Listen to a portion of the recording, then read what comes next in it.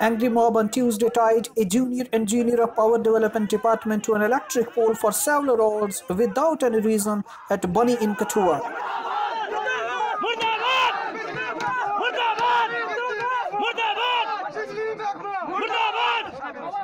One person and a cattle were electrocuted due to short circuit of the transformer in the village, after which the locals gathered on the spot and shouted slogans against the PDD and district administration for not reaching out to them.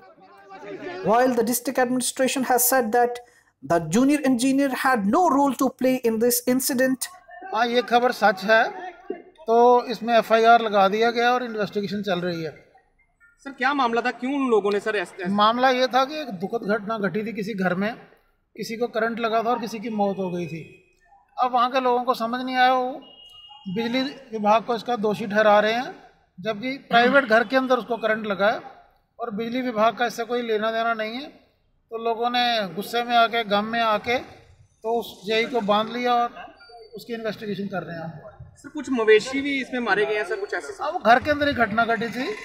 Current आ गया था उस घर के अंदर बिजली का उसके कारण ये दुखद घटना घटी इसमें लोग आइडेंटिफाई किए हैं कि किन लोगों ने उनको बंधक बनाया देखिए ये कल घटना घटी है। पुलिस के सामने मामला है।